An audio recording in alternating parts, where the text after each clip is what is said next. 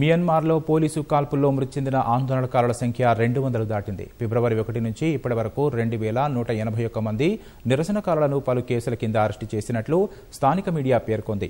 మరో పద్దెనిమిది వందల అరవై రెండు మంది ఆచూకీ లభించడం లేదని వెల్లడించింది. వీరు అరెస్ట్ అయ్యారా లేక నిర్బంధంలో ఉన్నారా అనే విషయం తెలియడం లేదని తెలిపింది.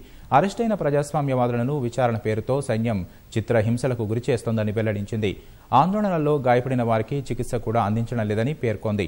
మృతదేహాలను కుటుంబ సభ్యులకు కూడా పంపించడం లేదని వెల్లడించింది.